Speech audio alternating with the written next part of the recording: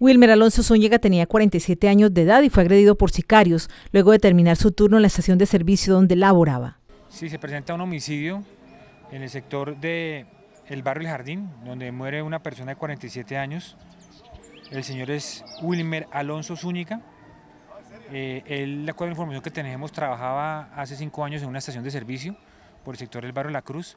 De acuerdo a la información, él había terminado de prestar el servicio de trabajo en, la, estación de servicio y ahí se dirige a su residencia y ya llegando a la residencia, a la entrada de la, casa, llega en una motocicleta y le, disparan en, dos, ocasiones.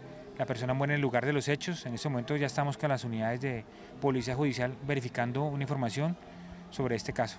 ¿Qué se dice ajuste de cuentas? ¿Cuáles serían los móviles? De acuerdo, de acuerdo a la información que tenemos, eh, eh, ya con Fiscalía se viene recogiendo una información importante sobre el tema de esta situación que se presentó. Los hechos ocurrieron en la carrera 23 con calle 12B del barrio El Jardín.